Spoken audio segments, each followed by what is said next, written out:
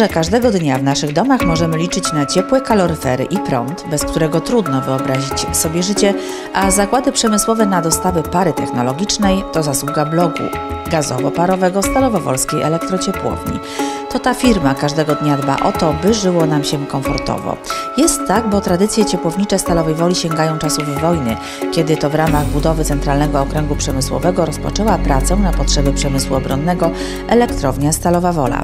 Transformacja energetyczna lat 90. wymusiła nowoczesne, ekologiczne podejście do produkcji prądu i ciepła, czego efektem była budowa bloku gazowo-parowego. Świadkiem tych przemian jest Daniel Karkoszka, obecny prezes elektrociepłowni. Spółka powstała po to, by wybudować i eksploatować blok gazowo-parowy.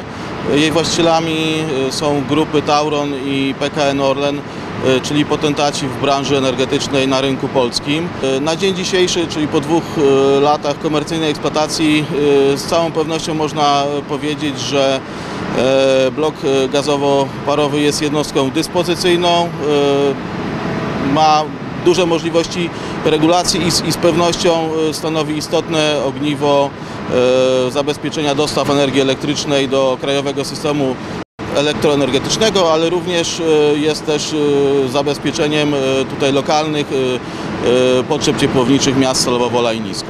Ta elektrociepłownia stoi obecnie w miejscu zlikwidowanej w latach 1999-2001 najstarszej przedwojennej części elektrowni Stalowa Wola, tzw. elektrowni 1. Ten nowoczesny obiekt technologiczny posiada dwie jednostki wytwórcze, blok gazowo-parowy oraz kotłownię gazową. Podstawową jednostką wytwórczą w elektrociepłowni Stalowa Wola jest blok gazowo-parowy o mocy elektrycznej 450 MW elektrycznych i mocy cieplnej 240 MW termicznych. Jednostką rezerwową jest kotłownia gazowa czterema kotłami wodnymi jednym kotłem parowym zapewniająca ciepło na wypadek awaryjnego lub planowego postoju bloku gazowo-parowego. Podstawowym paliwem wykorzystywanym do produkcji energii jest gaz ziemny. Energia elektryczna produkowana jest wraz z ciepłem, które w postaci gorącej wody dostarczane jest do systemów ciepłowniczych Stalowej Woli i Niska oraz do strefy przemysłowej. Samo wytwarzanie prądu i ciepła to niezwykle skomplikowany proces. Proces wytwarzania energii elektrycznej i ciepła oparty jest w głównej mierze na spalaniu gazu ziemnego w turbinie gazowej. E, Podczas tego procesu powstaje, e, powstają spaliny o temperaturze powyżej 600 stopni Celsjusza trafiające do kotła odzysknicowego, w którym powstaje para zasilająca turbinę parową. Obie turbiny napędzają generatory wytwarzające moc elektryczną. Część pary z upustu turbiny parowej kierowana jest e, do wymienników ciepłowniczych podgrzewających wodę sieciową, służącą do ogrzewania stalowej woli i niska oraz e, strefy przemysłowej.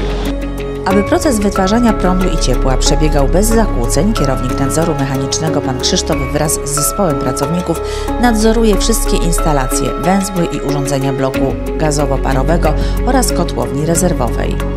Cele te osiągamy m.in. dzięki wdrożonemu w spółce systemowi planowania, rzetelnie i odpowiedzialnie prowadzonej gospodarce remontowej, planowym przeglądom wszystkich urządzeń, instalacji i węzłów, ale przede wszystkim dzięki specjalistycznej wiedzy, którą posiadają służby utrzymania ruchu.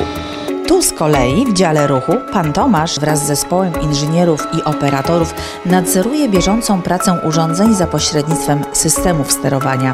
Nieustanny dopływ informacji z wszystkich instalacji jest gwarantem bezpiecznej produkcji prądu i ciepła.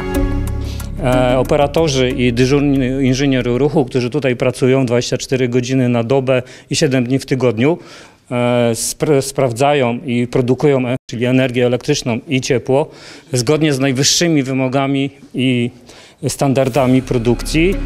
Stalowowolska elektrociepłownia jest ważnym ogniwem rozpoczętej transformacji energetycznej Polski z energetyki opartej na węglu kamiennym do energetyki przyjaznej dla środowiska, czyli zeroemisyjnej.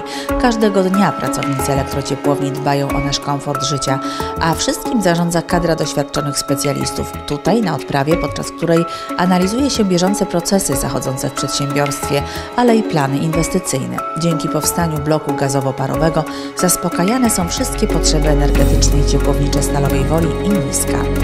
To dobre, bo Stalowo Wolskie.